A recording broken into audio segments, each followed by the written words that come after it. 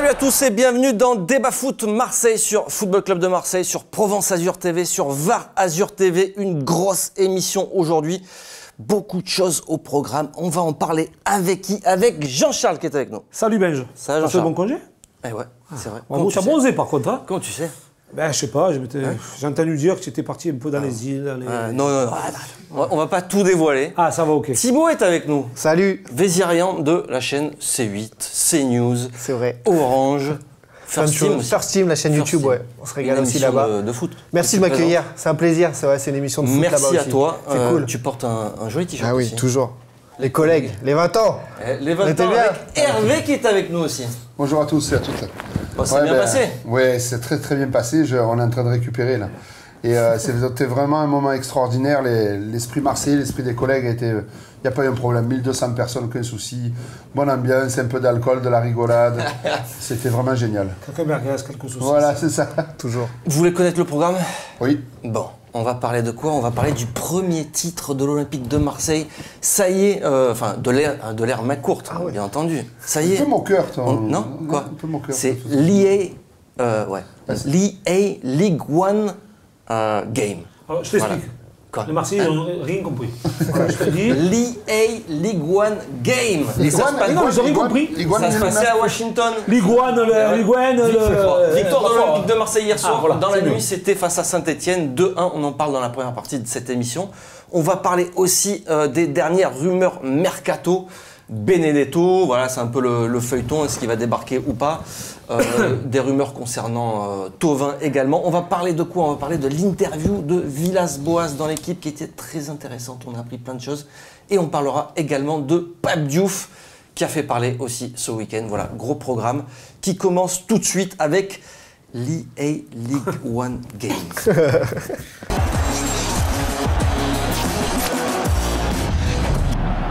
Et oui, premier titre de l'Olympique de Marseille euh, qui a été fêté à Washington. Euh, bon, c'est vrai qu'il y a eu un petit malaise, euh, c'est ça que tu nous racontais de- Ouais, à à la fin, au ouais, moment de la fin, remise du trophée, c'était un peu. Bon, Steve, il était moyen au moment de faire la fête, quoi. Il s'est dit, bon, si qu'est-ce on- que ça vaut Ouais, qu'est-ce que ça vaut On va se faire chambrer si jamais bon, on en fait un petit peu trop. Mais bon, quand même, euh, pour la confiance, c'est une victoire quand même, messieurs, non Pour, pour l'Olympique de Marseille, c'est la deuxième victoire consécutive dans les matchs amicaux qui avait très mal commencé en termes de résultats. hein. Oui. Euh, bon, c'est bon à prendre. C'est toujours bon. De toute façon, le match de préparation, on le disait la semaine dernière. On se plaignait un petit peu des, des premiers matchs où les résultats n'étaient pas très bons, où l'OM a encaissé beaucoup de buts.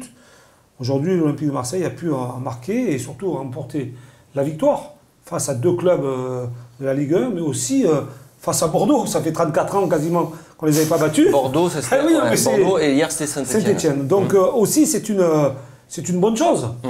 Donc c'était un nouveau challenge aussi à relever, même si c'est en début de saison, des matchs amicaux, Mm. matchs de préparation. Mais c'est toujours bon pour le moral. Et ça prouve que physiquement, l'OM rentre un peu plus dans la, la compétition en fait. Et Thibaut derrière, ça, euh, ça a un petit peu, d'ailleurs, pardon, ça, ça a un peu frité euh, en fin de match. Donc, oui, c'est- euh, tu y a- vois, il y a, il y avait un Ouais, peu franchement, c'était un vrai match à l'arrivée parce que on aurait pu penser, il y a personne dans les stades, euh, on se dit bon, les, les Américains s'en foutent de ce tournoi là, de fra- fait par la Ligue 1 pour la Ligue 1. Et en fait, en fin de match, tu as échauffouré euh, Alvaro qui a mis des taquets, il a joué 10 minutes le défenseur là qui vient d'arriver et du coup, il prend un jaune, il montre qu'il a la grinta et que c'est un vrai match à gagner. Donc je pense que c'est vraiment tout bénef de rentrer dans le vif du sujet très tôt parce que quand tu avais Sainté, Montpellier, euh, Bordeaux, Marseille au départ là, de ce tournoi en demi-finale Ouais. finale, tu te disais qui est en retard, c'est Marseille. hein. Et à Ouais. l'arrivée, c'est Marseille qui gagne. Donc c'est vraiment une bonne, une bonne chose. Hervé, euh, deuxième victoire consécutive, euh, voilà, euh, même si c'est que des matchs amicaux, tu as un Oui. Payet qui, qui marque aussi. Payet qui marque euh, trois buts en, en deux matchs. euh. Bah, écoute, il fait partie des joueurs qui nous donnent revanche cette année. hein. Euh, Mm. Lui, euh, Steve, euh, le troisième, je sais plus qui c'est, hein, mais parce qu'elle a tellement le trois. Ouais, Strootman, voilà, c'est ça, voilà. C'est il y en a après, je pensais à ma vie, d'un coup, il y a plein de gens qui se passaient les- devant les yeux. Donc, euh, non, c'est c'est une bonne chose. Après, on sait que c'est les matchs qui comptent pour du beurre. Mais bon, comme l'année dernière, on avait perdu pratiquement tous les matchs amicaux, je crois. euh, Ça, c'est euh, pas voilà, c'était pas très bien passé. Là, s'il y a une, une sorte d'osmose qui commence à arriver par rapport à ça, puis euh, l'engagement, moi, pour moi, c'est très important. Je dis que le foot de haut niveau, s'il n'y a pas l'engagement, tu peux rien faire. Donc, si ce monsieur-là, il arrive, Alvaro, là, et qui arrive à, à nous électriser tout ça et à nous mettre un peu le feu, tant mieux. But de Radonic aussi. Oui, aussi, c'est bien. Premier but les Pierre couleurs de l'Olympique de Marseille. techniques euh, qu'on n'a pas trop vu peut-être la saison passée, mais qui est un joueur qui a pour moi qui est pétri de qualité. Donc euh, je pense que le recruteur marseillais ne s'était pas trompé aussi, il faut lui laisser le temps. Il parlait pas la langue, c'était un petit jeune, il arrivait dans un nouveau Toi, pays. tu, tu crois en Radonic Mais il faut y croire. Ouais, il faut y croire, À un moment on donné, il y a un croire, investissement, il y a un nouvel entraîneur, donc Ouais. euh, on va voir le, schéma, le schéma de jeu. Euh, ce qu'il y a de bien, c'est que le dialogue sera totalement différent. Hein. Villas-Boas ne va pas avoir le même dialogue qu'il y a eu Garcia la saison passée, mais surtout avec ces deux petites victoires, ça permet de dialoguer différemment. Quand on est sur deux défaites, euh, le message n'est pas le même. Eh ouais. Quand on est joueur, on a besoin d'avoir un petit peu aussi de confiance, d'avoir euh, aussi des bons, je veux dire, des, des- des- des- des éléments assez rassurants vis-à-vis de son coach et de son staff pour qu'on puisse progresser. Et là, c'est c'est part sur, sur bon tempo. Et Hervé, il l'a dit, euh, il a cité Strootman. Je voulais juste dire que euh, c'est la vérité des matchs amicaux, certes, mais Strootman, j'ai senti un autre joueur Ouais. euh, avec plus d'impact, qui redevient peut-être aussi avec toutes ces blessures qu'il y a eu en fin de carrière, fin de, ses- fin de vie à la Roma et l'an dernier la saison chaotique. Peut-être que ça peut être aussi une recrue entre guillemets et que Strootman va apporter enfin tout ce qu'il doit apporter. On se rappelle du 4 à 0 pris euh, le match amical euh, il y a, il y a quelques- Eh ouais, 10 il y a jours. 15 jours. Donc on disait, oh là là, Ah, tu te dis, euh, ça repart encore ouais. dans un mauvais sens, dans une mauvaise disposition. Là, on parle différemment. Et là, ça a d'autres certitudes. Donc il va voir les choses différemment. Gustavo qui se blesse, ça c'est la, la mauvaise nouvelle. Il va en avoir peut-être pour 2-3 semaines aussi. Tovin qui est déjà sur le carreau. Euh, Ça veut dire qu'il loupe le début de championnat. Voilà, ça, ça, ça va manquer le début de, de championnat. Alors peut-être que la, la bonne nouvelle, par contre, c'est que il partira peut-être pas à, à cause de cette blessure, euh, Gustavo. Non. Si on regarde le, le côté positif, non? Attends, nous on achète plein de joueurs blessés, tu crois qu'il n'y a pas d'autres clubs qui font pareil Mais ils sont- Non. Voilà, si, si- Non, fait, je veux si- pas qu'il si parte, une bon. entorse, si Ouais. jamais euh, ils, craignent une, euh, aussi au niveau du, du ligament, si jamais il y a un problème au niveau des ligaments, il n'y a pas un club qui va non plus. euh, Gustavo est un mauvais professionnel. Hum. Il nous l'a démontré pendant deux saisons là, enfin une saison et demie. Oui, mais euh, s'il est blessé, il est blessé. Non, mais une blessure, c'est pas la blessure qu'il a, c'est pas un arrachement des ligaments ou Ouais. il s'est pas cassé le genou ou une cheville. C'est un joueur qu'on sait qui va, va tout faire pour vite revenir. Et puis maintenant, les séances de, de récupération, de soins sont différentes de, Ah oui. de ce qui s'est passé il y a quelques années en arrière. On récupère très vite. Quand on voit qu'un gars il se fait opérer de la pubalgie, un mois après il rejoue, je veux dire, c'est- c'est c'est un truc de fou. Quoi. Ouais. Voyez, il faut l'attendre un an. Donc là, Gustavo, il a toutes ces qualités-là. Après, et puis c'est un leader, c'est un garçon qui veut aussi prouver, se prouver à lui-même qu'il est capable une nouvelle fois d'être très bon. Puis bon, il y a aussi le rôle de Strootman, on en parlait là. C'est vrai Ouais. qu'on disait que ce joueur, euh, il va peut-être retrouver l'âme du, du leader qu'il était auparavant. Moi, je pense qu'on l'a souvent critiqué la saison passée. Et là, je pense qu'il arrive dans d'autres conditions, avec un autre coach aussi pareil. Et puis bon, et là, il démontre un petit peu tout ce qu'il a.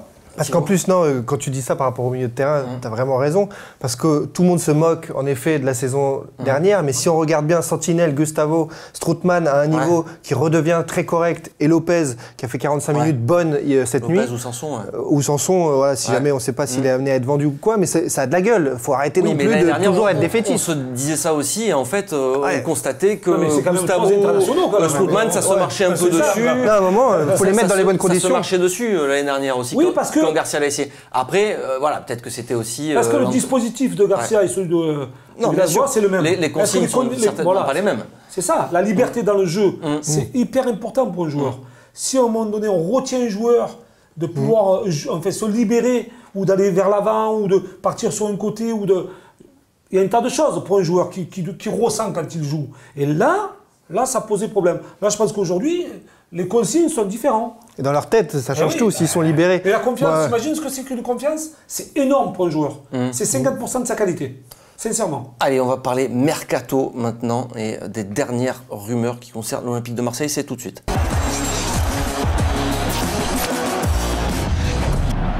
Allez messieurs, on reparle mercato, mais avant on va parler du maillot de, de Jean-Charles. Et ouais, parce que t'as remis ton maillot. J'ai futé voyais cet été. Je Et- le voyais là, là, sur cette table. Depuis six mois, j'ai dit, mais quand est-ce que je vais pouvoir le porter? À quel moment? Eh ben, C'est la saison du mercato. Ah ouais. Je le porte, hein, euh, Ouais, c'est à tout hasard. Ça va, je suis encore un petit peu fit. Non mais juste, on précise que tu as vraiment joué Ah avec avec ce ce maillot, maillot-là. ah J'ai vraiment pris des bananes aussi, ce maillot-là. pourquoi Jour de Marseille, les singes, les guenons, les. Prends-toi cette banane, prends-toi trois cacahuètes, Marc Rivière rentre dans ta cage, c'est vrai, les singes ah que tu. Oh là C'est vrai oh là là. Mais Ah, bon, ça On s'est change. régalé Après, On sur, régalé, sur- nous sur le terrain, bon, tu, tu rendais un peu les coups quand même. Bah, je rendais des pots de bananes. non, mais bon, c'était sympa parce que bon, on était habitués à tout ça. nous.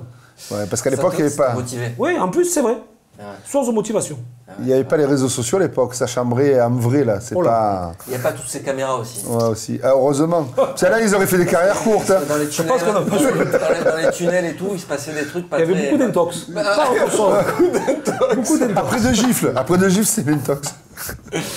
Allez, on parle mercato et on va parler de Benedetto. C'est le mini feuilleton euh, qui se poursuit.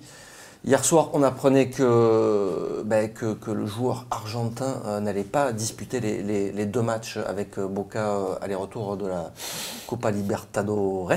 Oui. C'est ça? Euh, et parce qu'il est blessé. Donc il serait toujours blessé, indisponible pendant euh, 15 à 20 jours. Et ça pourrait accélérer son arrivée vers l'Olympique de Marseille. Villas-Boas a clairement dit que c'était sa priorité. Euh, ça peut être problématique quand même, non, de récupérer un joueur blessé encore une fois Ou tu te dis, toi, c'est peut-être simplement une. Moi, le théâtre euh, de la- du mercato des trois mois de transfert, ça me fait toujours, euh, ça me laisse toujours dubitatif. Donc, Ouais. moi, je sens le truc comme quoi euh, il veut justement être tranquille là-bas, pas Ouais. embêté, et pour faire son, son transfert et le boucler Ouais. rapidement. La blessure, j'y crois du coup moyen. Après, je suis pas en Argentine. Mais pour autant, s'il arrive vraiment blessé, que c'est une réalité, Mm. pour moi, là, c'est un drame. On met pas 15 millions sur un mec, même si c'est une entorse de la cheville. On attend déjà qu'il soit revenu, qu'on soit sûr qu'il Ouais. soit plus blessé. C'est tout. Là, ça serait euh, la cheville, le mollet aussi le mollet. Écoute, Si Et c'est le mollet, crois-moi, c'est c'est plus embêtant. eh ouais, c'est embêtant le C'est mollet. très Voilà. embêtant parce qu'il y a beaucoup de fibres qui passent. Eh ouais. Et même quand par moment, ça m'est arrivé une année, moi, Ouais. par moment on se sent bien, on reprend l'entraînement et ça repète derrière. Parce qu'il y a Ouais. tellement de fibres qui Ouais. passent, Ouais. c'est hyper sensible. Et Donc, puis- euh, Et puis on a déjà donné sur des joueurs. Et euh, on a fait, on a fait pour Strootman parce que maintenant on sait de source sûre que la, et la- la- quand il est arrivé, le service médical de l'OM n'était pas du tout convaincu par l'état de ses genoux. Et euh, qu'il savait. hein. Donc bon, moi j'en ai marre d'acheter des joueurs en- qui sont quand même blessés. Mitroglou, on a fait pareil, on va voir ce Bon, que ça voilà, nous a fait. Mitroglou est arrivé blessé, veux et ça l'a à un handicapé moment donné, sur toute, euh, ok, la ok, première tu achètes blessé, mais par contre, c'est ce que tu fais avant de le faire. Tu envoies tout ton staff médical, tu leur payes un, un billet d'avion qu'ils aient vraiment vérifié sur je, place. je pense que quand même euh, les dirigeants marseillais, cette fois-ci, se trompent Ouais, pas. ils vont pas- Ils vont bien, vont Mais bien si le c'est un joueur visiter. que, que veut vraiment Villas-Boas, c'est sa priorité. Ils le veulent, d'accord, mais comme le disait Thibaut, et si il est vraiment blessé, euh, il ne faut pas le prendre. Il faut encore payer 15 millions, plus, il ne va ouais. pas jouer. euh, La 29 ans, ça elle n'a jamais joué en Europe. Euh, non, mais moi je suis pas contre qu'il vienne en Europe, mais Hum. la blessure, il faut vraiment qu'il soit visité euh, de A à Z parce que sinon, déjà, il va louper le début de championnat, une nouvelle fois. Donc il y aura lui qui sera pas là, Gustavo, Tové. Ouais. Ça fait quand même trois joueurs clés. C'est pour être titulaire. C'est pour être euh, ton attaquant star. Oui, c'est ton équipe type, en fait, C'est- ces trois joueurs-là. Donc, euh, si tu vas, tu vas chercher ce joueur blessé, il faut être bien sûr qu'il puisse reprendre dans 15 jours. Que c'est une blessure banale, en fait. Ouais. Une blessure euh, comme tout joueur peut avoir. Et non pas une grosse blessure des ligaments. ou- Alors, au rayon euh, des arrivées aussi, euh, il y a une rumeur qui a circulé dernièrement, c'est la rumeur euh, Ensoki. Enfin, dernièrement. C'est euh, Ensoki, c'est dans les tuyaux depuis très longtemps. Il avait failli déjà signer à l'Olympique de Marseille. Kimpembe Euh, n'avait pas voulu. Hein. Comment Tu te rappelles de cette histoire que Kimpembe, son partenaire, avait dit surtout si tu signes à l'OM, Oui, ça va mal se passer. c'est surtout Non, Rudy peut-être- Garcia. Alors, Mais peut-être moi j'aimerais bien qu'on laisse parler Thibaut parce qu'il le connaît Ah quand oui. même. Eh Il le oui. pratique de. Le Kimpembe, euh, je connais pas directement, mais en tout cas, tant mieux qu'il soit pas venu à l'OM. Parce que, bon, c'est pas forcément euh, ce qui est le plus fiable. Ah ouais euh, au niveau, euh, à tous les niveaux. C'est après très mais grand joueur, champion du monde, on respecte Ouais. le joueur. Mais après, euh, dans les à côté, etc., Kimpembe doit prendre du plomb dans la tête. Donc, donc euh, à Marseille, pour moi, il serait brûlé. Mais Ensoki. Non, mais pas Kimpembe, c'était pas Non, non, mais il a, il a parlé de mais il J'ai rebondi. il a Donner des conseils à Enzoki. De pas venir, voilà, il a venir la transition. Et, surtout ouais, pas. et Kimpembe, c'est pas le mec des Ouais. meilleurs conseils. C'est ça que je le voulais dire. meilleur C'est pas le meilleur conseiller. c'est tout. Après, Ensoki, euh, l'histoire, en effet, c'est que c'était un jeune, soi-disant, euh, futur euh, Kimpembe au PSG, vraiment l'avenir, le. Titi. Et du jour au lendemain, tout d'un coup, c'était fini. Il fallait plus le faire jouer. Et même liste des transferts. il y a plus- Apparemment, une histoire de prolongation qui passait pas, mais sur des joueurs si peu chers à Paris, on se demande quel est vraiment le problème. Parce qu'ils n'ont pas hésité pour les premiers contrats pro à mettre des 1 million, 2 millions de primes à, Ouais. la signature complètement dingue sur des, juste des petits types parisiens. D'ailleurs, ils les ont tous vendus là cet Ouais. été. C'est alors bon coup, mauvais coup, certainement plutôt bon coup financier. Mais donc Ensoki, je pense vrai talentueux. Impact. Après, euh, pour le- l'environnement marseillais, euh, je suis encore dubitatif sur ces trucs-là. Moi, je, je me dis, euh, est-ce qu'il va apporter un vrai plus? Alors, personne n'apprécie à ma vie, Mm, mm. apparemment. Ouais. Mais euh, C'est c'est un mec qui peut jouer dans l'axe et, jouer à gauche. C'est toujours bon aussi, un mec polyvalent. Bon, voilà, aujourd'hui, Pas Ensoki, supérieur à ma vie, toi, tu penses? Si- C'est déjà euh, plus jeune. c'est plus non, mais c'est il y a un potentiel. Tu l'achètes 7, au moins Ensoki, dans deux ans, tu sais que tu peux le vendre plus. Ouais. À ma vie, il est dans le creux. euh. Donc, euh, nous, ce qu'on peut dire, en tout cas ici, c'est que c'est une vraie piste, euh, de nouveau, euh, sérieuse. Alors, ça, ça- ça vaut à peu près 7 millions d'euros, c'est ce qu'on a pu, pu lire. Mais l'Olympique de Marseille s'est repositionné effectivement sur, sur Ensoki. De toute façon, Hervé, nous faut une doublure à ma vie, enfin une doublure, un Ah ben là, concurrent. oui, euh, là, un si tu repars euh, une troisième saison sans un, un arrière-gauche de qualité, c'est que là, c'est une entreprise de démolition de l'intérieur. Je comprends plus rien au football. là. Parce que tout le monde, les mecs qui vont jouer, ils disent c'est bon, on attaque encore de ce côté. On le savait l'année dernière, ils se faisaient pilonner. Parce que devant, ça. Heureusement qu'il y a eu notre ami, malheureusement, on tire au chapeau au Campos qui le protégeait un peu. Mais euh, là, il n'est plus là, l'autre, l'artisan, là. Euh, Le tirailleur, il n'est plus devant. Donc c'est pour ça que là, il faut vraiment avoir du costaud. Il faut vraiment partir sur quelque chose de valeur sûre. C'est vrai que tu vas jouer avec Payet devant. qui défend pas énormément, on le sait. Donc c'est un mec ça. à protéger. Ça veut dire que c'est un latéral qui va pas être très offensif parce qu'il aura peur de se prendre dans le dos. Moi, par rapport à Ensoki, après j'ai une question de, de mec qui bosse à Paris. C'est euh, pour un mec de 19 ans arriver du PSG d'aujourd'hui à Marseille. Est-ce que c'est pas très compliqué aussi au niveau de l'environnement? Je pose la question, Il c'est y a eu Ouais. moi, je me rappelle, parce que bon, collétaires qui étaient à Ouais, ouais, c'est euh, vrai. C'était un autre tempérament. voilà. Non mais, tu vois ce que je veux dire, c'est qu'il y a tellement eu d'échanges entre Paris et Marseille qu'à un moment donné, ça peut passer. Il suffit que le petit Ensoki flamme d'entrée, s'il vient à l'Olympique Ouais. de Marseille, Il, adopté.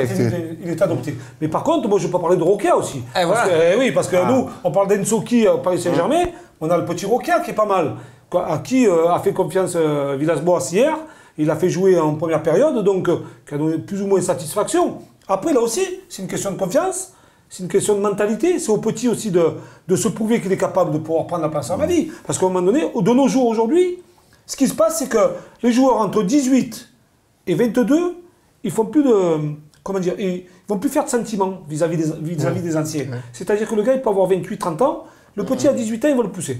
Ouais. C'est ça la force aujourd'hui de- des jeunes, c'est ça, c'est qu'ils vont plus faire la différence. Avant, il y avait le respect des anciens, mais là, non, il n'y a plus. C'est-à-dire que si le petit est bon, il faut qu'il lui marche dessus. Il lui marche dessus et qu'il prenne sa place. C'est comme ça qu'on avance. S'il a compris ça, il a tout compris. Alors, on va parler maintenant euh, de deux rumeurs euh, de joueurs euh, qui pourraient remplacer éventuellement Tovin. Eh ouais, Tovin, parce qu'on ne sait pas, toujours pas s'il va rester. Florent Tovin, s'il y a une offre qui tombe. Euh, euh, Mais pour l'instant, on n'entend Ce n'est rien. pas une petite offre. hein. Je- ça, je te le Oui. confirme. Je te dis que Pas une c'est petite offre. Fait. Mais 30 c'est- millions d'euros, il ne partira pas. hein. 30 millions, il ne partira pas. À combien il parle? Entre 30 millions et son salaire, Oui. qu'il soit équivalent. Oui, oui, bien sûr. euh, parce que c'est quand même un salaire. On parle de 40 millions d'euros. L'OM veut au moins 40 millions d'euros euh, pour, Oui. pour Tovin. Euh, quand on voit que Fekir pourrait partir euh, à moins de 30, euh, Oui, mais Fekir, tout le monde le voulait la saison passée, il a fait une saison catastrophique. il- il a le Avec des blessures, aussi, il a plus le- personne ne le veut. plus personne ne le C'était veut. un coup de 80 millions, ça passe à 30. Ça- Et ça tombe sur Séville. Ça tombe plus sur Manchester, Liverpool. même. Non mais, non, Il mais reste voilà. qu'un an de contrat aussi, je crois. Il euh, reste un an de contrat, donc euh, Mm. voilà aussi. Donc, euh, bon, Tovin, ça serait 40 minimum. Aujourd'hui, il n'y a pas d'offre. Donc, euh, mais si en. Ce qui est dans- Il n'y a pas que ça. Il reste que pas 15 ça. jours en Angleterre. hein. Ouais, il il reste a que pas que 15 jours en Angleterre. De A priori, l'Angleterre, c'est pas forcément Alors, le lui- championnat qui. Moi, je pense que Pour l'avoir parlé avec lui personnellement il y a deux ans, c'est vrai que lui, ce qu'il a tiré, c'était le championnat italien. Eh bien, Voilà, Ça lui, c'était me ça. Lui, il dit, pour moi, ce sera le top. Alors, justement, il y a une piste pour le, pour le remplacer qui vient d'Italie. Wow, cette transition. eh ouais, ouais, c'est euh, c'est Ounas. Le jeune Ounas international algérien qui a, qui a disputé la CAN. Ounas, il, il était pas, il joue à Naples. Qui joue à Bordeaux avant. Ah et il jouait à Bordeaux bon avant, joueur. exactement. Et donc il a fait la Cannes, euh, qu'il a remporté avec l'Algérie. Il n'était pas titulaire, mais il a marqué trois buts quand même. Ouais. Euh, c'est un va. profil qui vous plaît, ça, ou vous connaissez pas suffisamment Bon. pour. euh, si. c'est un joueur de. de- ouais. Si, si, moi je l'ai connu quand il était au Girondin de Bordeaux. euh, un bon petit- il débutait, hein. Ouais. il, est, il est Mhm. tout jeune, donc là, c'est c'est pas, c'est pas un joueur qui est très âgé, qui doit avoir quoi, 22 ans. Exactement. Donc, exactement, euh, 22 ans. Donc ça fait quand même trois ans, qui, trois petites années à Bordeaux, avant de partir à Naples. C'était un joueur qui, qui avait de la qualité technique énorme, Mhm. qui allait assez vite sur le côté, qui était capable d'éliminer assez facilement et qui avait une, je dirais, une dernière passe intéressante. Après, c'est toujours pareil. Revenir à l'Olympique de Marseille, quand on- Ouais. c'est une autre situation, c'est une autre pression. Il faut supporter tout ça, l'environnement. Est-ce que Ounas euh, n'a pas trop joué du côté de Naples la saison passée Ouais. Donc euh, peut-être avec ce titre aussi de euh, la Coupe d'Afrique des Nations, ça peut lui permettre de grandir. Ouais. Alors passer de Tovin à Ounas, euh, Ouais. Bon, il, bon, il a raison, on lui laisse le bénéfice du doute, etc. Mais pour moi, c'est pas du tout le profil qu'il faut Ouais. pour Marseille. Aujourd'hui, euh, une équipe, c'est des joueurs complémentaires, etc. Et il faut quand même apporter un plus, une maturité. Là, on va aller chercher un mec, on sait même pas s'il va apporter un plus. On Ouais. sait même pas, il sera même pas du niveau du mec qui est parti avant, Thauvin, bon, qui est un super joueur, forcément, c'est dur de, de remplacer. Mais là, il était à Naples. En, futur espoir, finalement, ils vont le laisser partir tranquillement. Ancelotti, qui est pas le plus idiot des entraîneurs, s'il ne cherche pas à le garder, bah, ça m'embête toujours. C'est toujours, c'est comme à la Juve. Quand la Juve vire un joueur, c'est que c'est vaut mieux pas le prendre. hein. C'est que ils ont décidé qu'il était enfin. Voilà. Il n'y a que Paris pour foncer tête baissée sur les trucs comme ça. Mais là, Ounas, non, perso, je suis pas chaud, chaud. Ounas, non, pas plus que ça. Écoute, je connais Alors, pas, je vais pas faire le mec qui connaît le joueur, y, a un autre, il y a un autre euh, joueur, c'est euh, qui était cité euh, ben, aujourd'hui. Euh, c'est une info, le Disport. Euh, c'est euh, c'est un jeune joueur de 3. Ah putain, on tape dans le lourd là. qui a 22 ans, donc qui, qui évoluait en Ligue 2, c'est Brian Mbemo. D'accord. Euh, oui, c'est Brian. Que, que- que tu as vu euh, par contre très souvent l'année dernière, puisque tu suis la Ligue 2 C'est très vrai. régulièrement. Domino's Pizza. J'adore. Non, c'est dégueulasse. Les vraies pizzas, c'est les Non, Marseillaises. tu vas voir- C'est pas ces trucs là. Tu vas voir Uber Eats là. Ah ouais. Ah ouais. Il y a les pizzas et Uber Eats. Ça me déconne. C'est vrai, les mecs du marketing à la Ligue, c'est des tueurs. forcément- Je vous respecte, les gars, je on vous va pas respecte. forcément trop en parler non plus, parce que nous on est. C'est est- vraiment une petite rumeur. ça. Voilà, on, Vraiment. on est allé à Je la sais même pas pêche aux, aux hein. informations et bon, euh, a priori, selon nos informations, l'OM Après, vraiment l'OM a toujours été un club spécialiste Mais, euh, hein, de ça, c'est de la quoi, c'est- L2. c'est un- très jeune espoir, euh, c'est aussi le, le projet, euh, soi-disant, de, de l'Olympique de Marseille Non, mais- désormais, miser sur des jeunes. Et au fait, mais comment je ça dis, il a raison, Thibaut. À un moment donné, quand tu veux constituer une équipe Hein. pour jouer les premiers rôles, tu vas pas t'appuyer sur des jeunes joueurs comme ça. Il t'en faut, hein Oui, Il t'en oui. faut. Parce qu'il faut aller chercher des bons jeunes dans des clubs de D2, de national. Ouais, ouais. Je suis d'accord. Mais à un moment donné, il faut construire Mais une tu équipe. sais ce qu'ils veulent faire, les clubs aujourd'hui Ils veulent prendre des jeunes. Plus-value. euh, et- Ouais, mais Faire Monaco. tu es l'Olympique de Mais Marseille. faire ça, quoi. Tu es l'Olympique de Marseille. euh, Monaco, ils avaient oui. des ossature importantes. Ouais. Bon, et- et- là, Quand t'as c'est tes 11 quoi le- joueurs, mais à. Marseille, tu les as pas les 11 Voilà. titulaires encore. Et C'est le- ça. Et le nom du projet, là, puisque champion projet, c'est foutu. C'est quoi, là Il y a un nouveau... C'est quoi le concept Parce que moi, j'aime les on concepts. posera la, la question à Jacques Henri Hérault. Mais c'est quand la conférence de presse Ton ami, ton ami Jacques. Oui, mais c'est quand la conférence de presse Bientôt. Mais, ah, d'accord. On n'a pas encore la date, mais pas ça va Et les abonnés, ça se vend? Les, les abonnements, euh, bah, Parce que moi, j'ai eu des rumeurs, on m'a dit que c'était très très bas. C'est vrai ou pas? C'est pas très très bas, mais c'est pas très très haut non plus. un peu plus de 30 000. Ouais, donc c'est très, c'est pas C'est haut. hein. quoi C'est c'est La dernière, c'était 38 000. D'accord. Mais qui était C'est- pas, c'était si- pas bon en 38 000 c'est l'année pas passée. si hein. mal que ça, euh, compte tenu de la situation euh, du mercato, de la saison dernière. Là, tu te rassures là, en disant ça. Eh Oui, bah, c'est pas si mal euh, que ça. euh, Oui, mais normalement, normalement, quand tu es ambitieux, c'est l'année d'avant, tu as fait un chiffre, tu dois faire meilleur l'année d'après. Ouais, C'était vu la saison euh, que les. Eh Oui, les mais bon. euh, C'est pour ça faut ça. Moi, je vais juste, je veux donner un exemple, je l'adresse parce que je sais qu'il nous regarde à l'Olympique de Marseille. Mm. Un truc que je trouve inadmissible pour les supporters. J'ai un ami qui est abonné depuis 20 ans, en tribune Jean-Moin, il se fait de 2000 euros hein, euh, avec son fils, ou un peu plus. Il y a le match amical contre Naples qui arrive là. Bon, déjà, ils font payer 25 euros. Bon, Dimanche pour le 21 faire. heures, c'est ça Voilà. On est bien. Putain, il est trop fort, ça c'est légal, la télé ils sont forts. et donc, il me dit, et je reçois le truc, il me dit voilà, on vous a réservé la place, tu vois, si vous voulez la prendre en priorité et tout. Et du coup, il regarde, tu sais, mais réflexe, il dit, mais, mais c'est en gagné. C'est-à-dire que le gars, il est abonné en jambouin, mais il se retrouve en gagné. C'est-à-dire que si tu respectes pas le- le- le- le- l'abonné sûr qu'il a pas, il aime, tu, as- tu payes un endroit, tu veux être là tout le temps, toute l'année, tu, même le match amicaux, il doit être au même endroit, il doit pas être à un endroit différent. Moi, je trouve ça, déjà, en point de marketing et affect du supporter, c'est quelque part un manque de respect. C'est pas à faire. Allez, on passe tout de suite à euh, l'interview de Villas-Boas. Euh, ce week-end, c'était dans l'équipe et on a appris euh, ben, euh, plusieurs choses euh, intéressantes. On va en parler tout de suite.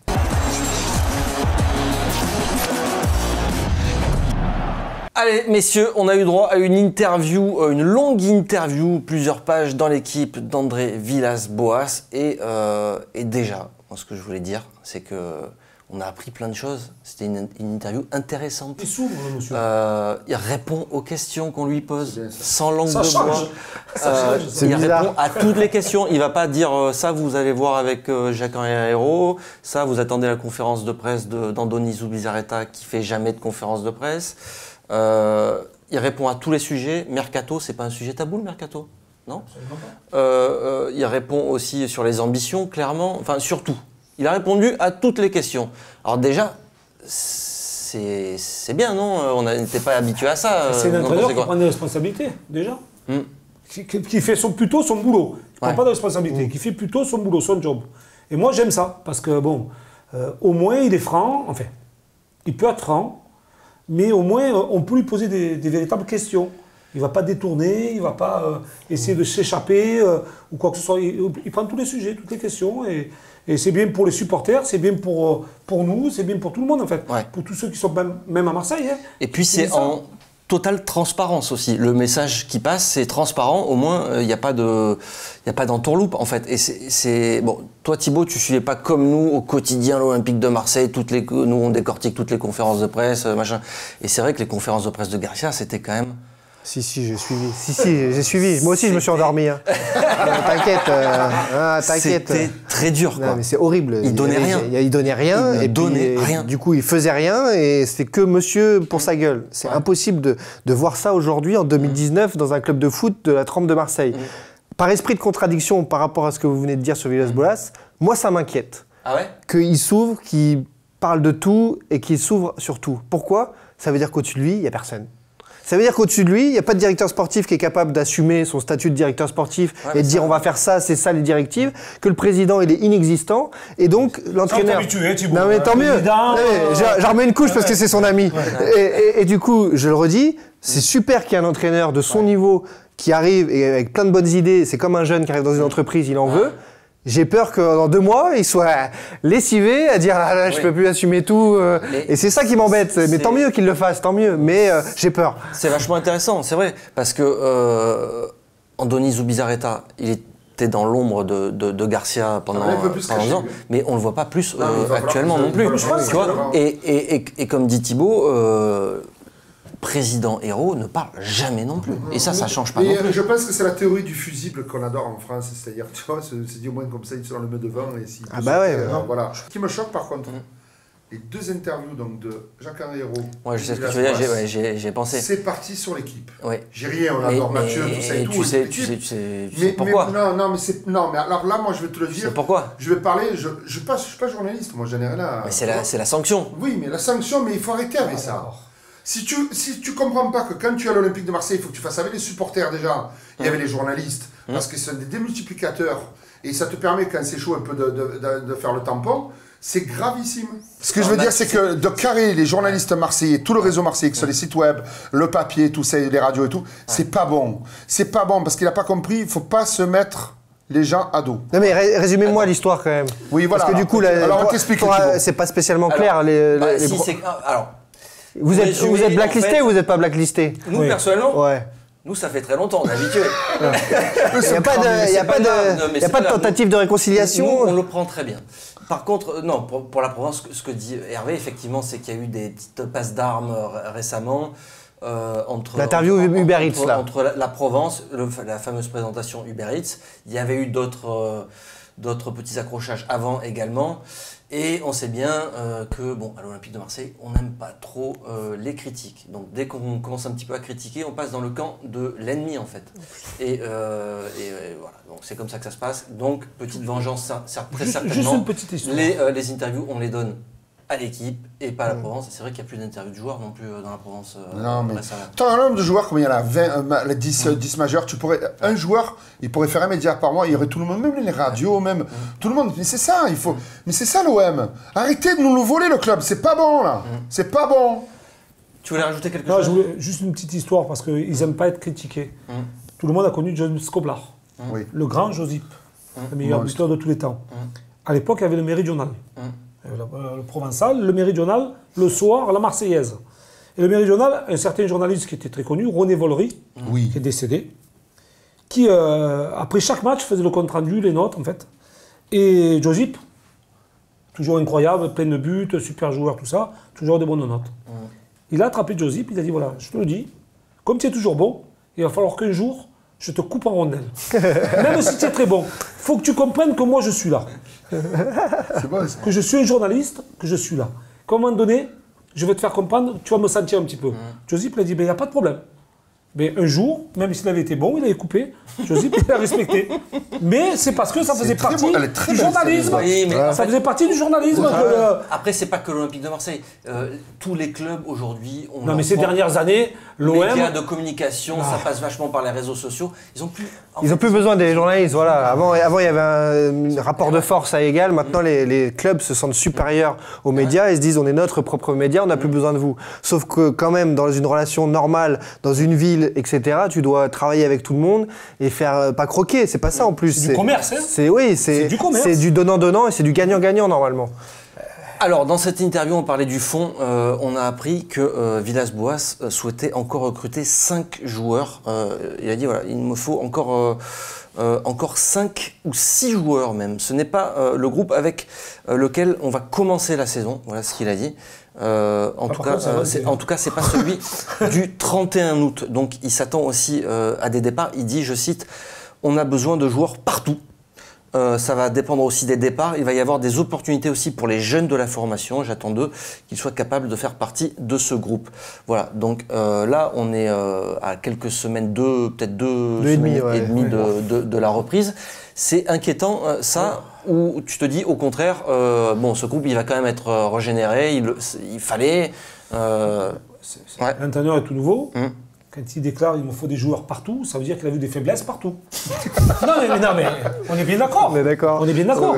Si tu veux recruter partout, ça veut dire que tu as des défaillances. Ça veut dire qu'il a vu certaines choses qui ne lui convenaient pas et qui risquent d'être dramatiques tout au long d'une saison. Ouais, il dit qu'au niveau du nombre de joueurs qu'il a à sa disposition, euh, il en a pas suffisamment aussi. Il y en a c'est- 31 quand même. Ouais, Euh, mais 30 On tu joue à comptes, 13 de tu- nous, oui, tu- on était 16. Tu comptes tous les jeunes, il a pris, euh, je sais pas Ouais, combien non, de. ils sont 30 quand même, ouais. Ça fait, ils jeunes. sont 30. Je trouve faut, ça il inquiétant. faut de la aussi qualité. il comme, faut de la- euh, comme Moi, je pense qu'il a tout à fait raison là pour le coup de parler. Comme je disais, il prend tous les pouvoirs, mais Mm. bon, il a raison de le faire parce qu'au moins dans trois semaines, quand le championnat aura, débu- aura débuté, Mm. qui sera dans la merde entre guillemets, et bien là, il pourra dire, je l'ai annoncé. Ouais. Si vous n'avez pas travaillé derrière, je peux pas vous dire C'est une sécurité là Voilà. qui se, Je qui se donne aussi. intelligent. Je pense pas que ce soit un idiot, ça, quand même, Mmh. ce monsieur. Ouais. Moi, je crois en lui. hein, euh, Sincèrement, il faut qu'on croit en lui parce qu'on est Oui, sûr. Il faut pas, il faut pas les mettre des bâtons dans les roues et tout. Le truc, c'est qu'il faut qu'il soit un peu aidé, comme tu as évoqué tout à l'heure, que ce soit Zubizarreta. Si Héroux, veut, à la rigueur, veut se mettre en rentrée, ça, à la rigueur. Et Zubizarreta, là, par contre, là, moi, je l'ai défendu. Là, maintenant, il faut qu'il aille au mastic. hein. Il n'y a plus d'excuses. Non, mais surtout qu'on est bien le ballon. Autrement, à Ils Monoprix, euh, je lui piège ses fraises. Non, mais ça, moi, moi, ce qui m'inquiète, c'est, franchement, c'est qu'il va recruter de partout. Quoi. Alors, Et ce qui est ça veut dire inquiétant, que- ouais, c'est- mais il il dit que c'est en fonction des départs aussi. C'est-à-dire qu'il ne sait pas qui va partir non plus d'ici le 31 août.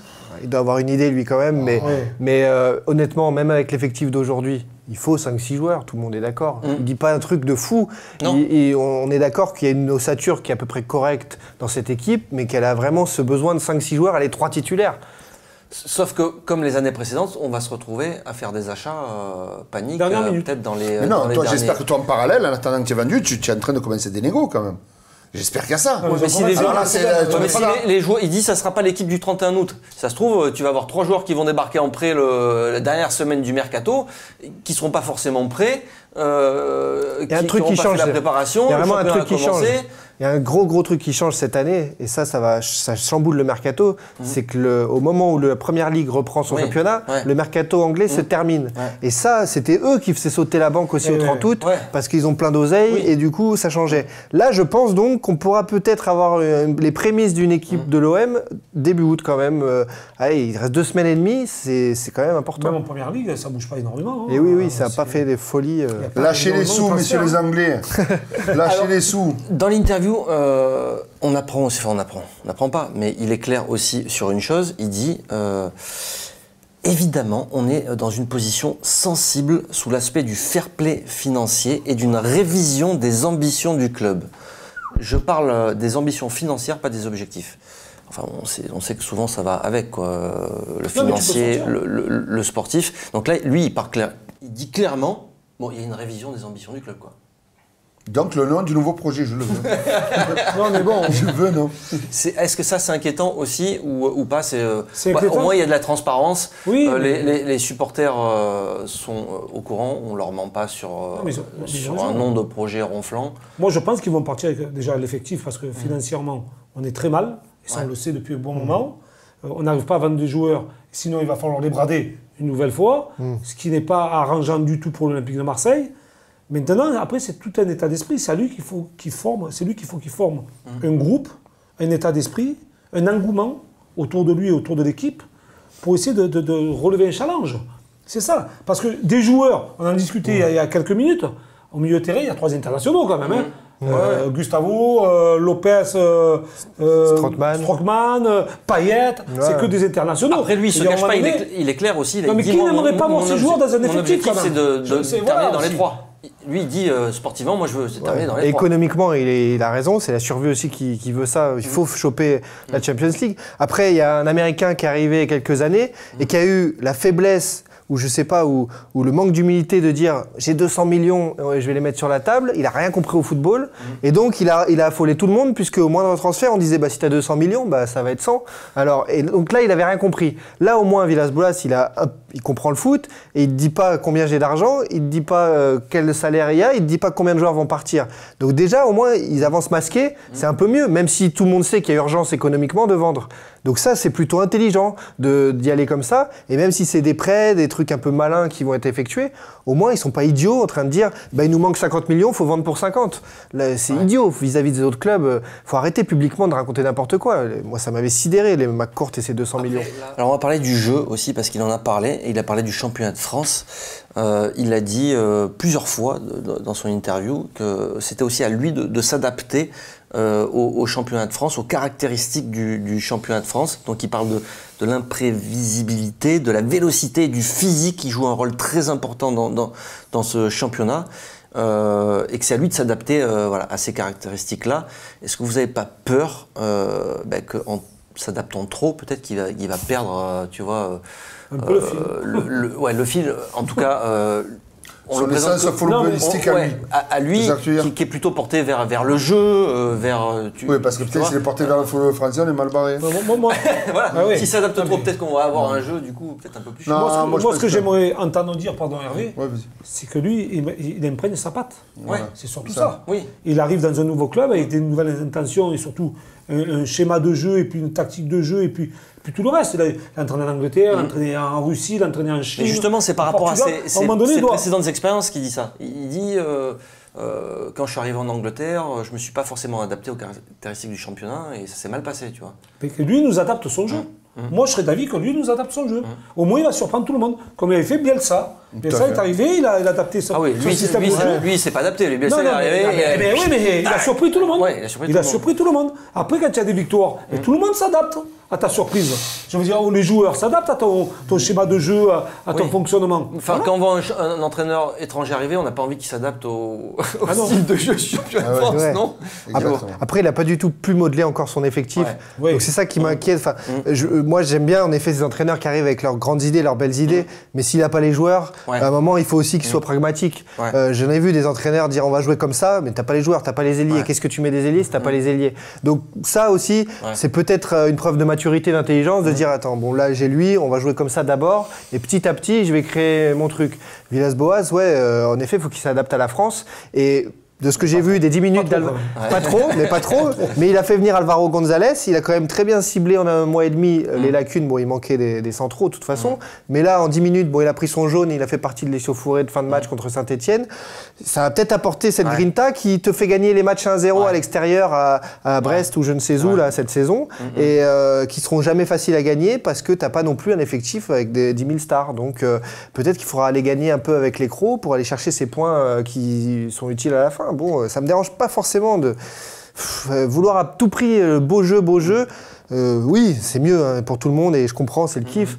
Mais il faut être pragmatique. Il n'y a pas l'argent, euh, il n'y avait pas les joueurs jusqu'à il y a peu, euh, ils étaient au fond du trou. Bon, Après, si tu peux pas avoir les titres et pas avoir de, de jeu non plus, c'est compliqué. Ouais, T'as ouais. peur, quoi. Tu vois, Ouais, ouais, il que a raison, Thibaut, il a stars, ciblé sur le terrain. Tu On aura des LED. auras des super LED. Et je suis sûr qu'ils vont faire plein de, de jeux sais, de lumière extraordinaires. Euh, dernier dernier point dans cette euh, interview, c'est euh, le capitana. Euh, c'est pas encore tranché. Euh, Il y a plusieurs joueurs, euh, donc c'est Mandanda, Payet et Gustavo. Euh, il parle aussi de Tovin, mais on sent que c'est pas. euh, voilà, c'est.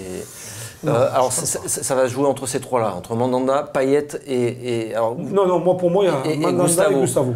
euh, Oui, qui- va déjà. Allez. pour vous, c'est qui le, le- le capitaine de cette Pour équipe moi, je Mandanda. sur Gustavo. moi. Oui. Parce qu'il est dans le jeu. Gustavo Voilà, pour moi. ouais. Après, remettre le, le brassard à Mandanda aussi, on sait que ça lui a fait mal à Mandanda. de- il de- nous l'avait de- dit, de- Saïd de ouais. Ayam, hein, il nous l'avait de- dit, de- parce qu'il de- avait de entraîné tout, ça l'avait Ouais. fait beaucoup de mal, il nous Mm. avait dit. Mais je pense que moi, je, de, par son, de par le caractère de Gustavo, le- dans, le, dans le cœur du jeu, il faut que ce soit lui.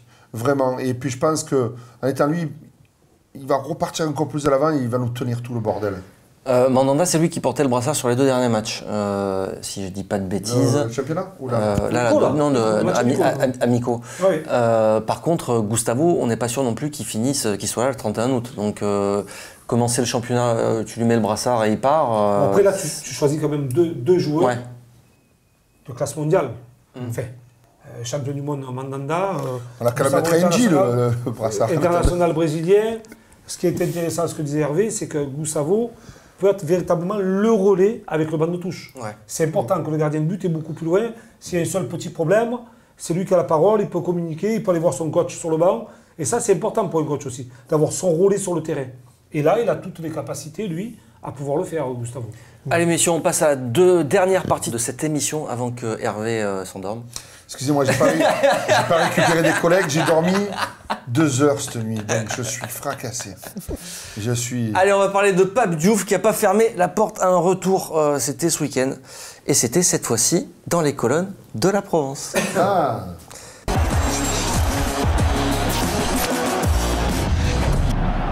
Et oui, Pape Diouf a parlé dans la Provence. Eh Oui, ouais. parce que lui, c'est un Marseillais. Oui, tout simplement. Est-ce que là, c'est pas des échanges de coups finalement, tu vois? Ah, il sous-marin voulu à la House of Eh, Cards. eh ouais, on sait que, bon, Héros, euh, il n'aime pas trop euh, Il pas, il n'aime pas Diouf. entendre parler de, De Diouf. de, de Pape Diouf. Pape, quand a quelque chose Ouais. à dire, il le dit. Et donc, de euh, Pape Diouf, effectivement, euh, qui, qui a parlé euh, dans les colonnes de la Provence. Et bizarrement, on sait que bon, Pape Diouf, c'est quand même euh, un personnage qui est particulièrement apprécié des supporters. Euh, lors du dernier ou avant-dernier match, il y avait encore une pancarte dans le stade euh, Diouf revient, enfin, un truc dans, de- dans- dans le genre. Et, euh, et là, bon, cette interview sur les réseaux sociaux, pas mal de, de- de critiques. Alors, il y a eu ce passage où il dit Bon, moi, je préfère. Oui, je préfère Anigo, José Anigo à Andoni Zubizarreta, donc ça, ça a fait un peu grincer euh, euh, sur, sur, sur Twitter notamment. Oui, mais là, Euh, explique la phrase y a derrière, parce que c'est ça, c'est sûr que Oui, c'est j'ai rigolé. C'est Ouais. quoi qu'il y a derrière? Parce que, euh, comme on évoquait tout à l'heure hein, avant l'émission, Mm. c'est qu'Andoni Zubizarreta a un chéquier, et José l'avait pas à l'époque, et José sans argent, il avait trouvé quand même des... Tu l'as Mm. rappelé, Caboret, que j'avais complètement oublié, Valbuena, euh, qu'est-ce qu'il y en a Mandanda, voilà. Vous comprenez ces, ces, ces- ces critiques sur les réseaux sociaux suite à cette interview Non, parce que Pape, c'est vrai que- euh, Pape, moi j'adore, hein, Ouais. mais c'est vrai que des fois, euh, les gens, quand ils parlent, ils se disent, ouais, ils veulent se placer pour le coup d'après. ouais. Pour, lui, pour on en a parlé avec lui, sincèrement, pour qu'il Parce revienne à qu'il aurait pu l'OM. revenir avant. hein. Ouais, il aurait pu revenir avant, il n'a pas fait. Mm. Je pense que vraiment, s'il revenait- reviendrait, ce serait avec euh, des moyens quand même. Il ne va pas revenir Ouais. avec, euh, dans une situation comme il a déjà fait. Donc, je pense pas. Mais il a, il a le droit de parler comme euh, M. Tapi, il a le droit de parler de l'OM parce que c'est des monstres. C'est. Ouais. tout. Au tournevire, euh, moi, ce match des minots, là, le minot deuxième génération qu'on a eu quand on était à Paris, tu te rappelles 0-0, ça rappelle, c'est là. génial. Et Paoletta, il pleurait et tout. C'est beau ça. Et euh, la magie voilà, du- la magie du il nous foot. a fait ça quand même, tu vois. Donc il nous a fait l'émotion. Parce qu'à l'arrivée, les titres, c'est très très bien. Mais l'émotion, on en parlait. Ah ouais. Par le PSG, il n'y a plus d'émotion, tu Ah vois, par exemple. Mais les supporters de Paris, il ne faut pas croire. hein. Paris-Marseille, même combat en ce moment. Alors, il parlait, euh, on lui a posé la question sur, sur le, un éventuel retour, et là, pour une fois, il n'a pas fermé la porte. Euh, toi, tu disais que. J'ai pas lu l'interview, je ne savais Voilà. pas ça. Ben, il, il dit euh, déjà, faudrait qu'on m'appelle, faudrait voir le projet, faudrait, tu vois. Et tandis nous, quand on l'avait eu ici sur ce plateau, qu'on avait discuté avec lui, euh, il, il fermait déjà un peu plus la porte. Euh, en tout cas, Attends, un retour lui- avec, Mac- avec Franck McCourt. Est-ce que lui, il n'a Là, pas des news euh, peut-être lui Comment Peut-être qu'on l'a approché, on ne le sait pas. Non, Bon, mais C'est une bonne idée ou pas On- Ah bah moi, je dis, de toute façon, c'est 100 comme le ans Ronaldo là-dessus, qui est revenu au juste, juste pour savoir si. Ah oui. voilà. Si- Si- y avait, bon, que ça marche avec Hero et tout ça, on, Mmh. on souhaite que le bien.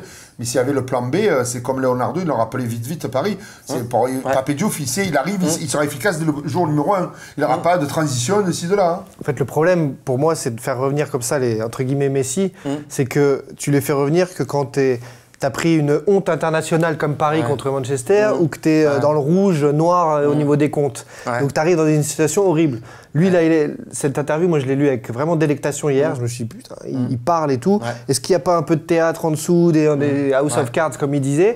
Pourtant, euh, on sent quand même derrière que ça y est, là, il est touché de la situation Mhm. et qu'il a tellement le- l'OM dans le cœur que euh, voilà, et, et bah, pourquoi pas? Avec des vrais gens, avec une aventure humaine, il, il replonge. Puis pour- pourquoi? C'est vrai qu'il pourrait s'engager. Pourquoi? Parce qu'il y a eu changement d'entraîneur aussi, changement de staff. Ouais. Peut-être qu'il ne voulait pas, à l'époque, quand on lui a posé la question, de travailler avec Garcia. Ouais. Aujourd'hui, peut-être qu'il a envie de travailler avec Las-Boas. C'est tout autre chose. Ouais. Donc, euh, avoir d'autres responsabilités. Ici, comme le fonctionnement du club, parce que Pape, le fonctionnement, il le connaît bien. hein. putain. Le Pape Marseille, il le Bon, connaît. priori, ça pourrait pas les journalistes, il connaissent. Zubizarreta, hein, avec euh, ce qu'il lui met depuis. Ben ouais, mais, quelques- mais c'est pour ça qu'aujourd'hui, peut-être qu'il voit que ça, la porte Pourtant, ils font les courses au même endroit, Monoprix du Prado, les deux. je vous le dis, j'habite là-bas, je les vois. Non, mais voilà, il sait qu'il y y, a des choses qui pourraient se faire, mais pas avec certaines personnes. Donc peut-être qu'il y a eu aussi en interne du club des choses qui se sont dites et qui donnent la possibilité à Pape d'ou- aujourd'hui d'ouvrir sa gueule, tout simplement, et de dire certaines Et choses. qui te dit, je vais dans le super sauvegarde, qui Ouais. te dit qu'il y a un cadre de ma courte là-bas, dit, oh, ils sont pas en train de nous faire des saucisses là, Ouais. et qui sera enseigné vraiment à d'autres personnes à notre niveau, le football français, qui sait que vous vous mettriez? Et les- s'ils ont coopté, pas. Mais franchement, Ma- Ma- Matt Court, il devrait comprendre qu'à un moment donné, il a mis presque 400 millions d'euros et qu'il n'y a aucun résultat et qu'on est encore dans le rouge. Il faudrait peut-être s'appuyer sur des personnes qui connaissent véritablement le football, le fonctionnement, les agents, les joueurs et, et les finances. Et- Et, et le sportif Et, aussi. com- et comme on voit, comme euh, je, fais le, je fais le lien je- à un autre niveau avec Paris, qui a réussi à se sortir du fair play financier en allant chercher des marques euh, internationales, etc. Marseille, c'est une marque mondiale. Aujourd'hui, elle n'existe pas mondialement comme il faut. Donc maintenant que tu es dans le rouge, trouve un président commercial, un peu plus intelligent entre guillemets dans le, dans le sens euh, businessman pour aller chercher euh, des gens qui vont t'aider à sortir de ces problèmes financiers parce que oui euh, le fair play financier il existe mais si tu ramènes de, de l'argent euh, et Ouais, ça existe il faut arrêter de croire que Paris, personne c'est veut- pas des faux contrats qu'ils ont ramenés? Ben, pas, pas que, non, non, pas que. Non, mais quand, euh, Nike, euh, etc. Non, mais oui, il y a de ça, t'as raison, il y a, il y, a ces- il y a ces faux, entre guillemets, avec le Qatar, et ça, bon, c'est Ouais. leur problème. Mais à côté de ça, t'as des grosses marques. Oui, mais ça, tu peux le faire que quand t'as des stars internationales. Mais parce qu'ils ont fait grandir leur truc. des, des des, des Ibra, Alors moi, j'ai eu des news dans la- dans la- on m'a raconté ça, ça, ça vient de, de- de- du milieu professionnel. Mhm. Il paraît qu'il y a des gens qui ont été très très mal reçus par l'entourage de la- l'entourage de l'Olympique de Marseille, alors que c'était des capitaines d'industrie Mhm. marseillais. Déjà, voilà. Donc tu vois, si on en parle au niveau commercial, si tu euh, matches pas ça, Voilà. je vais t'expliquer moi. Moi voilà, je suis dégueu, je suis personne. hein. Mais tu as un contrat à 8 bars avec Orange. As un signe derrière, tu te glosses à, à 3 bars avec Uber Eats. Tu fais la conférence de presse et tu enfermes tout le monde, les, les journalistes et tout, ils sont là, ils se disent Ah ouais, d'accord. Si tu prends 20 bars à quelqu'un le coup d'après, là le mec te dit Ouais, ça va, on parle pas de mercato, mais putain, là, Là, vous êtes fort. Tu fais toi l'envers, là. Tu vois ce que je veux dire d'un point de vue de vente et de crédibilité du club et les signaux que tu envoies aux autres sponsors. Il dit, mais qui c'est eux? Ils en avaient un 8, il faut en signer à 3. Ben moi, si je veux rentrer là-bas, je vais donner 4 cacahuètes. C'est pas ça qu'il faut faire. Allez, messieurs, on s'arrête là. Merci beaucoup. Tu voulais rajouter quelque Non, chose mais Ah ouais. simplement que Pape, il a l'avantage aussi de connaître l'Afrique. Et puisqu'on est Et en difficulté euh, au niveau des joueurs, on sait que les Africains, quand on les prend directement là-bas, il y a une possibilité. Il était quand même dans l'organisation de la Cannes une nouvelle fois cette année. Donc d'aller, et puis son, son nom, il porte la bande africaine. On a voulu le mettre président quand même de la République du Sénégal. Donc euh, il a des entrées de partout, dans toute l'Afrique. L'Afrique noire, ça pourrait nous ramener aussi des joueurs plus facilement. Allez, merci. Merci Hervé, merci Thibaut. Merci. Euh, tu reprends quand. La reprise, c'est quand? Là, dans- là, ça y est, premier, premier jour de vacances, donc laisse-moi un petit mois là. Ah, c'est ton premier jour de vacances Euh, ouais, ouais. Il est venu passer Je suis venu voir euh, les collègues, je suis venu voir la, la vraie vie. Et tu reprends quand Je reprends euh, non, fin août là. Fin août Fin août, ouais. Fin août, ils Je, reprends sur CNews la, la matinale et euh, C8 c'est que de la télé et, et, euh, sur YouTube avec Et, la classe et foot. sur euh, Class Foot, c'est quand Ouais, c'est bah, Ça s'arrête pas, ça bah, ça s'arrête si parce Ouais. que mine de rien il a fallu faire un break et, et euh, puis tu connais l'économie de YouTube. Ouais. Il y a un moment donné aussi où donc on a fait le break donc on reprendra fin août. euh, tout, tout le monde reprendra fin août. euh, voilà. Allez, euh, Class Foot et euh, First Team, Ouais, c'est ça c'est c'est sur YouTube. Ouais. C'est comme vous, c'est une bonne ambiance, on, s'amuse et avec des gens bien comme ici. Nickel. Merci Merci Jean-Charles. Belge. Tu reviens quand tu veux. Ouais, Et tu viens avec un, un autre maillot ou pas? À la semaine prochaine, je t'amène notre mazo, j'en suis encore plus vieux. C'est les œufs, tu vois, là on se prenait les œufs dans la tête. À l'époque, les sponsors. L'omelette, on se faisait. Là, on se faisait l'omelette, tu vois. C'est pour ça que j'ai plus de cheveux d'ailleurs. Voilà. La camomille. Oh, dis-moi, tu sais qu'on est à presque. Bon, on- a dépassé les 24 000 abonnés. On n'est pas à 25 000. Non, c'était à 25 J'avais dit 30 au début, et puis après tu m'as. Ah ouais hein, tu m'as percé à 25 000. Oui, 25 ils 000. auront un maillot, t'inquiète pas. Un maillot, mais un maillot de quoi? Maillot de l'OM. Et qu'est-ce Il me reste encore un petit Il y peu de aura des relation. trucs sur le maillot de l'OM ou pas? Le maillot, le vrai maillot de l'OM, Le vrai maillot de l'OM dédicacé par Ah, les joueurs. dédicacé S'ils veulent, s'ils ne veulent pas les signatures, Ah, on donnera que le maillot.